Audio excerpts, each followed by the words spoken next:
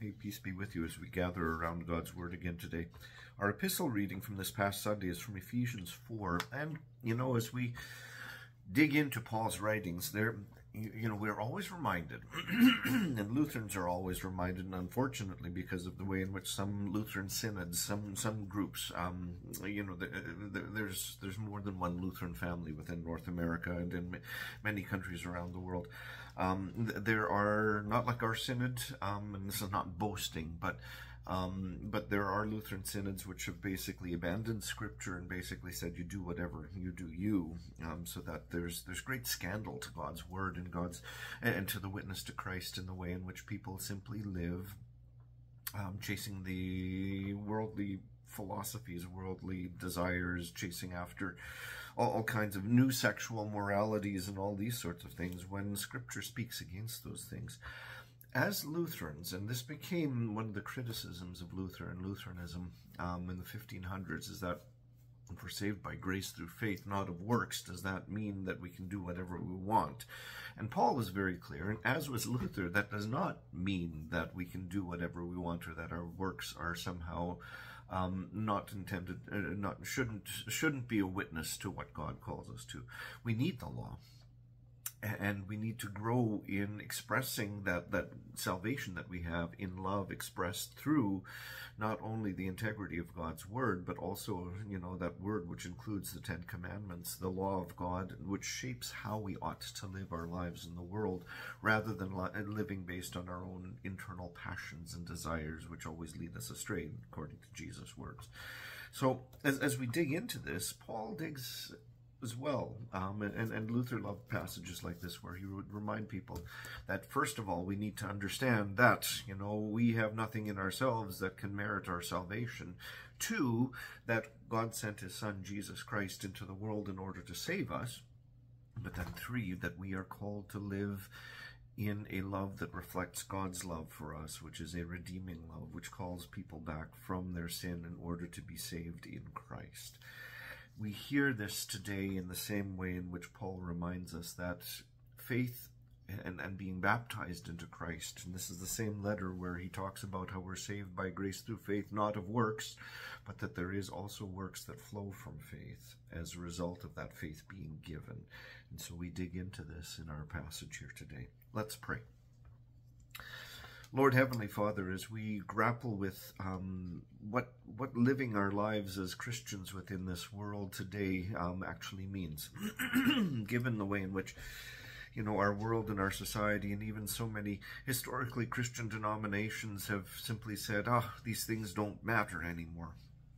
Um, guide us so that we would not only follow the voice of our Savior and follow the voice of the apostles and prophets in the way that you have spoken through them so that we learn to not only um, acknowledge our sins, but um, use that as a way to run to our Savior and ask Him to help us grow according to your word um, in the way in which we live our lives in relationship to the people around us.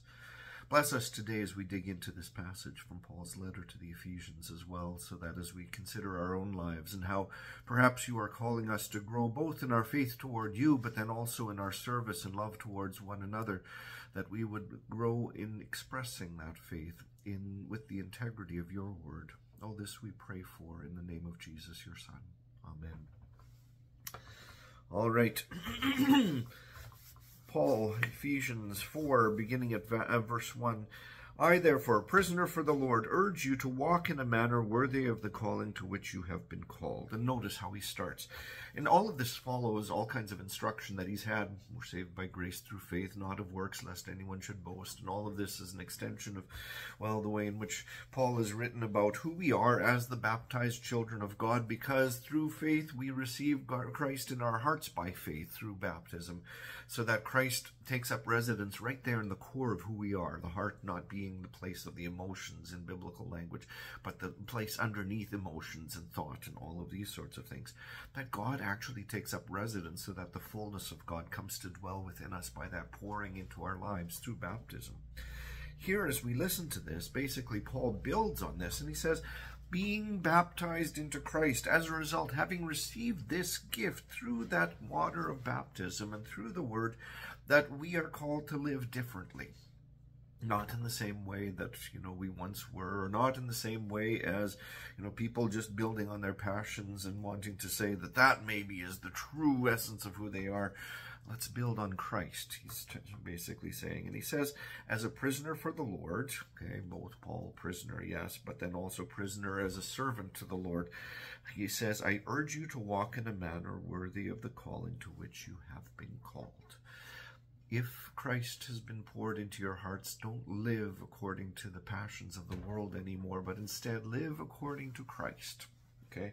And I know there's many preachers nowadays that, even like in New Testament times, where Paul and Peter and Jude especially warns about, there's these preachers that will come along and they will preach just according to their passions in order to excite people, but really they're preaching only to their own gain, not to people's salvation. We have that in our world today as well. And sometimes they even carry the names of historically Christian denominations, and it's a very sad thing. Paul says, don't do that. Instead, let's live in a manner worthy of our calling to which we have been called. Where? In the waters of baptism by the invitation and word of Christ. And then he goes on, with all humility and gentleness. Notice, not boastfulness, not um, you know borrowing the modern phrase that you got just just do you and and, and you know or uh, speak your truth to the world. No, let's speak the truth of Christ that we have a Savior in Him. So with all gentleness, with humility and gentleness, those words are important. Humility, where we, you know, working, you know, together with the Holy Spirit, we learn to empty ourselves of ourselves gentleness as we relate to one another, and with patience. That's a hard one. Bearing with one another in love. Okay, and love defined not by, you know, social philosophies where, you know, love is love is love, the way in which, you know, there, unfortunately, there's this sparkle creed that's circulated around. It's an LGBTQ um, creed that, that sort of mimics and mocks the Christian creeds. Um, it's really a blasphemous creed where it, it, for the for the third article where we talk about the Holy Spirit, you know, instead they say, and I believe that love is love is love, which basically brings in, you know, all of the the the sexual immorality of of not only the you know the sexual revolution, but then also LGBTQ philosophy into this teaching, where Scripture calls it sin, but they're going to make it a center part of the faith. No, no, we can't do that um, we need to empty ourselves. That's true for them as much as for us, um, so that we build on Christ, so that He becomes the new cornerstone. So, patience, bearing with one another in love, defined by Christ. Okay? And this is the same Paul who writes in 1 Corinthians 13, where love is patient, love is kind, it's not rude, all of these things. It's self emptying rather than self promoting. Okay, so bearing with one another in love bearing with one another in love, eager to maintain the unity of the Spirit and the bond of peace and the unity of the Spirit. Again, how does Paul describe that? And again, you can go back to First Corinthians as a beautiful way where the unity of Spirit is the confession of one faith that Jesus is Yahweh, God in the flesh. That's that Jesus is Lord unpackaged, so that the same Spirit gives us that one calling into the body of Christ by which He gifts us in different ways in order to build one another up in love. always shaped by that preaching and proclamation of Christ. The way we hear it not only through the prophets leading into him by Christ himself, but then the eyewitnesses of Christ, the apostles, as they teach what they learned from our Lord and Savior. So, what does he say? Explaining that unity of the Spirit and the bond of, of peace. Notice where he goes. There is one body and one Spirit. Echo 1 Corinthians 12 just as you were called to the one hope, okay, from the one body and the one spirit to which we are called through baptism, we're baptized into the body of Christ. So we were called to the one hope that belongs to your call. So, okay, that unity in faith, expressed in a unity lived in humility and gentleness, building one another up in love. One Lord, who's that? Jesus. One faith, not multiple expressions of the faith one baptism, Okay, and this is why historically in the Christian church, one Christian baptism with water in the name of the Father, Son, and the Holy Spirit is enough. You don't have to be rebaptized. It's not about the amount of water that you have, whether you were baptized as a child or as an adult. You know, we are baptized in the name of the Father, Son, and the Holy Spirit. Unfortunately, sometimes people will say baptism, well, we can baptize with other elements, and so we can make rose petals. That's not baptism. Baptism is with water. Or we baptize differently in the name of the Creator, Redeemer, and Sanctifier, and unfortunately, there are some major, um, historically Christian denominations which have basically said, well, we'll just do it that way, so we avoid talking about God as Father, Son, and Holy Spirit, because it might be too, too, too much against the grain of the spirit of our age. That's not baptism either we're talking about one baptism, the way that Jesus instituted it with water in the name of the Father, Son, and Holy Spirit. We don't need to be rebaptized if we have been baptized in that way, even if it was as a little child. Okay? That's, and, you know, as, as we listen to that, you know, this is historically where Christianity has always stood. So one Lord, one faith, one baptism. This is the unity that we're called to by the Spirit. Okay, one God and Father of all. Okay, notice. So, first one, one Lord is Jesus. Now, one God and Father of all, who is over all and through all and in all. Okay, so in other words, God, is, there's not multiple gods that we're talking about. We're talking about one Lord and Father, the Father of our Lord and Savior Jesus Christ, who is the way, the truth, and the life, because you don't get to Him without Him all of these different ways in which Jesus taught about, you know, how we are reconnected to the very source of our life, namely our triune God. But grace, he goes on to explain, and this basically is an echo of 1 Corinthians 12 and 13, was given to each one of us according to the measure of Christ's gift. Okay? Therefore, it says, when he, Jesus, ascended on high, he led a host of captives and he gave gifts to men. So, again, who ascended into heaven? It's Jesus. And he gives gifts to us in baptism and communion and in his word. So in saying he ascended, what does it mean? That he also descended into the lower parts of the earth. And so we're talking about the creedal stuff. Not only was he incarnate, not only did he enter into the waters of the Jordan River to be baptized for us, then also did he entered into death and then descended into hell. All of this is being depicted here by, by Paul as he writes. He who descended is the one who also ascended far above the heavens that he might fill all things. And so the same Jesus who walked on the earth, who was born in the manger in, in Bethlehem, is the one who ascended into heaven. And now here are some of the gifts that he gave. He gave the apostles, the prophets, the evangelists, the pastors, and the teachers. An evangelist is not talking about modern day you know 19th and 20th century evangelists where they go out and have these great big crusades evangelists in the new testament were simply preachers and teachers of the gospel because someone who is gospeling okay? The pastors and teachers. So the apostles and the prophets we're talking new testament leaders.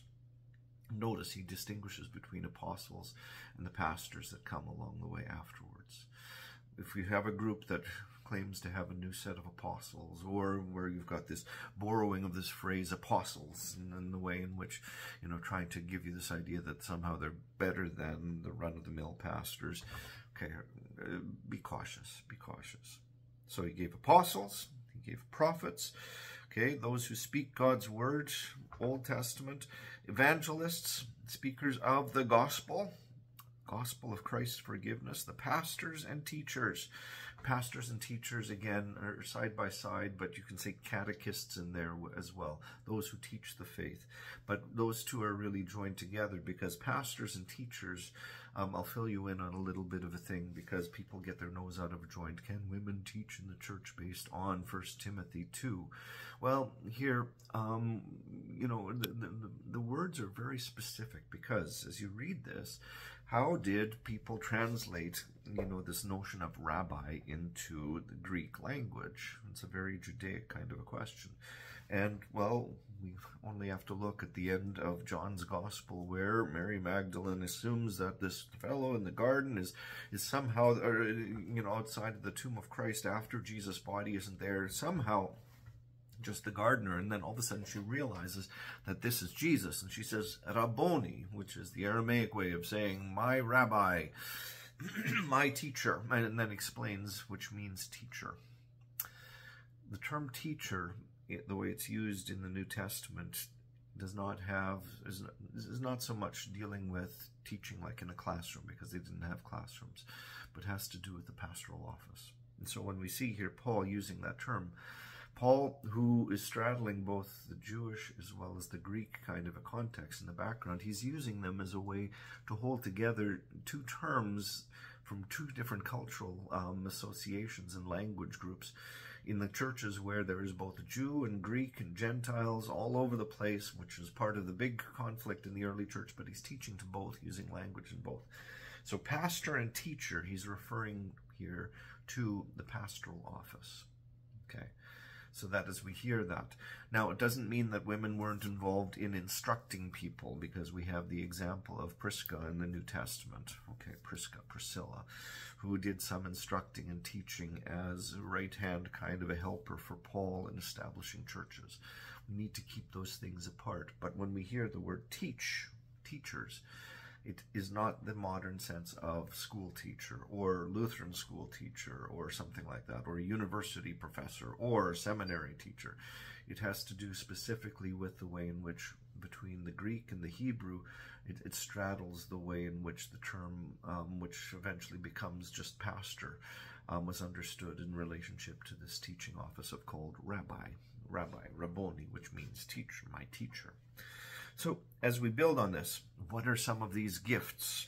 Well, one body through one spirit, basically echoing 1 Corinthians 12 and 13. Through baptism, we are baptized into the body of Christ and made members of it. And then within that body of Christ, as the Lord ascends to heaven, he gives gifts. Okay, and these are the gifts. Be cautious, though, because in the modern world you'll get charismatic and evangelical preachers that will try to break these apart and try to say that these are things that we have to recreate in our world today rather than understanding them within biblical context. So why does he give us apostles, prophets, evangelists, pastors, and teachers? Okay, to equip the saints, verse 12. So to build us up, the saints, referring to those who have been washed and sanctified in Christ through the waters of baptism, to do what? For the work of ministry, for building up the body of Christ. Again, echoing 1 Corinthians 13 until we all attain to the unity of the faith and the knowledge of the Son of God, to mature manhood, to the measure of the stature of the fullness of Christ. So there is a sense here that Paul is reminding us that, you know, it's not just we're baptized and it's like, don't bother me anymore with what's going on in church. There is that call to grow within the gift that we have been called to. And this is as much a part of our biblical and Lutheran teaching that we have to hold on to as the teaching that, and the essential teaching that we are saved by grace through faith, not of works, lest anyone should boast. That baptism actually incorporates us into the body of Christ. That God uses the washing with water and the word in order to not only cleanse us from sin, but clothe us with Christ and hide our lives in Him. All of these things are part and parcel of that fuller biblical teaching. And, you know, as we hear this, this is a reminder for us, yes, I'm talking to Lutherans, but Christians as a whole, that the things that were, you know, hammered out 500 years ago in order to clarify things about gospel, um, they're, they're to help set and frame these very biblical teachings which all hang together. We need to grow up within that. And that's why once you're baptized, we need to continue to be part of church. That's why, as once we're baptized, we need to grow within that faith. And you know, through the word, dig more deeply into what it is and recognize that the pastoral ministry, as well as digging into scripture, as well as the way in which the church grows with you also being made a member of that body of Christ, where we too are gifted to build one another up in love with that patience and gentleness and humility. Okay, hear all those things. It applies to all of us. so that we continue to build that unity around Christ as we learn of him through the word, as he continues to be present in our in our midst through the word, so that we use our Bibles like the children's song and grow every day. So until we all attain to the unity of faith, so that, verse 14, we may no longer be children, tossed to and fro by waves and carried about by every wind of doctrine every wind of new ideas, which Paul always warns about. There's always going to be new ideas. Those new ideas don't lead you to Christ. Hold on to the one and the pattern of sound teaching. It comes from Christ. It's very deep, deeper than what we often allow ourselves to imagine. Not deep in the sense of, whoa, this is complicated, but deep in the sense of it, it, it's profound and and you know how often do we simply gloss over the answers quickly so that we can go after whatever the latest wind of doctrine is about you know how you think the holy spirit might be doing stuff rather than digging more and more deeply into what paul has just talked about in the previous set of readings that we had from last week. That you know the fullness of god comes to dwell within us so that we become temples of God and temples of the Holy Spirit, all through what God has done in the waters of baptism as He keeps pumping it into our lives through our ears, in the Word, and through our mouths and our lips as He feeds us with His very body and blood in the sacrament of the altar. We need to be part of that. Not simply say, ah, whatever, that's old hat, give me something different. No, we need the solid, solid food of what Christ gives us. That's part and parcel of the gospel reading that we had this past Sunday, where Jesus says, I am the bread of life. Whoever comes to me shall not hunger, and whoever believes in me shall never first thirst. And we'll hear that over the next couple of weeks as well as Jesus digs deeper and deeper into that in that John 6 passage which is a real challenge for you know the the whole group in the within the Christian world that says it isn't really what Jesus says you know with the sacrament or you know we can just turn our backs and say this is is more secondary stuff and we need to go and just chase after whatever is new what we think the holy spirit might be up to. And the word is you know hogwash.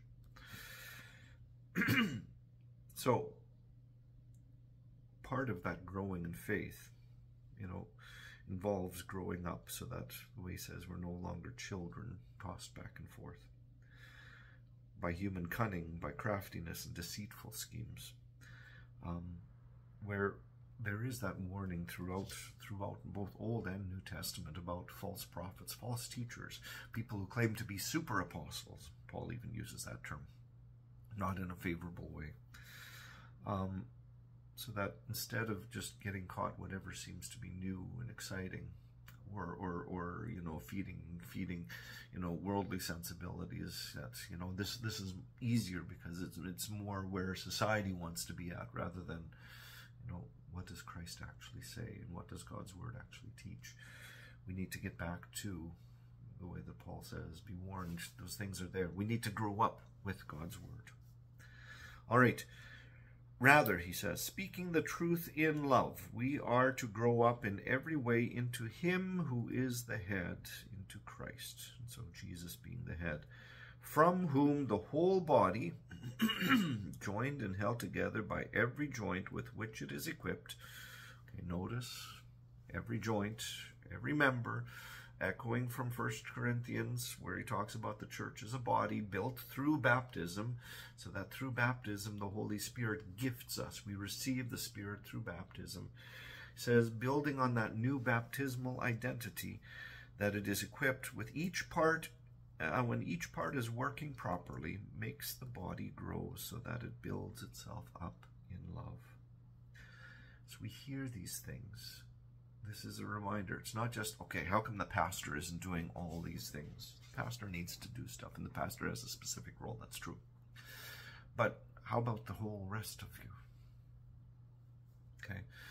or the way in which sometimes people will grumble and complain, well, the pastor isn't doing all of these things, or the, the elected officers aren't doing all these things, and how come these things aren't happening in our church?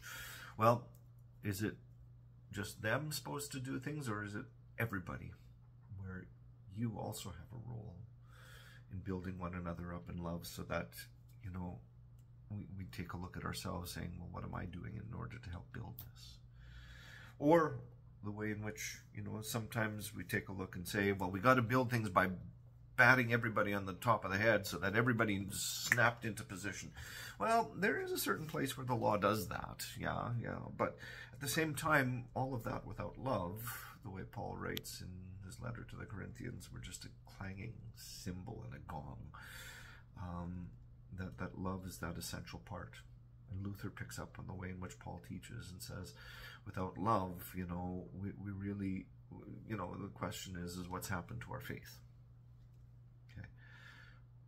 And that's an important question because the way Paul writes is that these things are important. Faith, which comes as a gift through hearing the word of Christ, the gospel. Hope, which is parachuted with that gift of faith into the midst of our lives wherever we are, and then expressed in love. Not love is love is love, the way in which you know society likes to talk, but that self-sacrificial love where we build one another up in the integrity of Christ's gift of forgiveness. So we hear this as a result, and Ephesians basically 4, as we look at it today, is, is echoed throughout all of Paul's writings, and really it's echoed throughout the whole of the New Testament, Old Testament as well, as it points to Christ, but the way in which all of the New Testament writers, um, you know, lead us that gifting of faith is something that is not just, okay, whatever, and then we just go on and say, I can just do whatever I want. But instead, that gifting of faith is a new living dynamic life that God gives us. And it is supposed to be transformative. And as we hear this, it speaks to the depths and to the fullness of who we are in not only how we live on the outside, way that some people think, but even as we wrestle with, you know, strange thoughts and schemes and all of these sorts of things, every wind of teaching and doctrine, so that we're always brought back to the center, which is Christ. And we know of him and we learn of him, not through, you know, what society would prefer that he is, but through God's word. And so as we wrestle with, you know, this whole thing of believing and following Jesus, trusting in his word, you know, and where Jesus is that bread of life. Um, this invitation within this set of readings for this past Sunday is certainly there for us to grow in that faith and that we learn to live a life that is worthy of the calling that of what Christ has given us. The Lord be with you and bless you as you chew and wrestle on this word. And may the Holy Spirit continue to gather us together into that one Lord, one faith, around that one doctrine, that one teaching, that one confession of Jesus, so that we can have this clear proclamation to the world in thought, word, and deed, in everything that we do, so that you know that same Spirit becomes alive within us as we gather together as His people within the church. Amen.